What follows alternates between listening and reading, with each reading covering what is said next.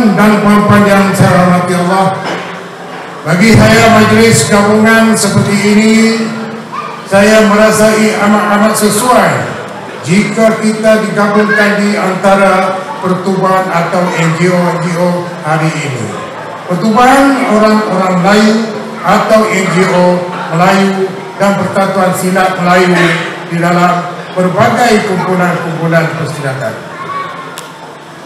Ini juga saya memperkenalkan NGO yang saya bawa ini adalah Pertubuhan Kebajikan dan Kemajuan Melayu Malaysia atau Maju Malaysia. Pertubuhan ini baru saya ditubuhkan dan didaftar dengan pendaftaran pertubuhan ROS baru setahun yang lalu untuk orang-orang Melayu sahaja yang ahli-ahli yang terdiri daripada ahli-ahli yang di negeri Perak dan ada juga sedikit-sedikit dari negeri-negeri lain.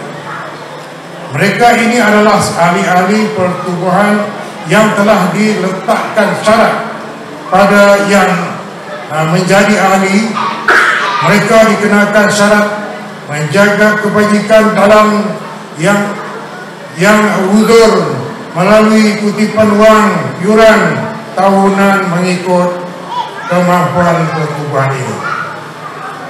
Jika ahli-ahli mahu ahli-ahli maju Malaysia ini tidak memegang syarat-syarat dan janji-janji mereka yang melarang mereka melibatkan diri seperti penagih dada, pengedap dada, membuat jenayah-jenayah dan lain-lain kerja-kerja yang menyalahi undang-undang pertubuhan dan negara.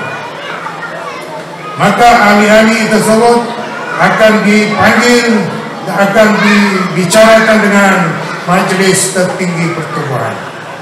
Jika terdapat ahli pertubuhan, ahli-ahli tersebut benar-benar bersalah dan bertanggungjawab seperti yang disebutkan tadi, maka ahli tersebut akan terbatal dengan sendirinya. Kita persembahkan Syahir Munajat.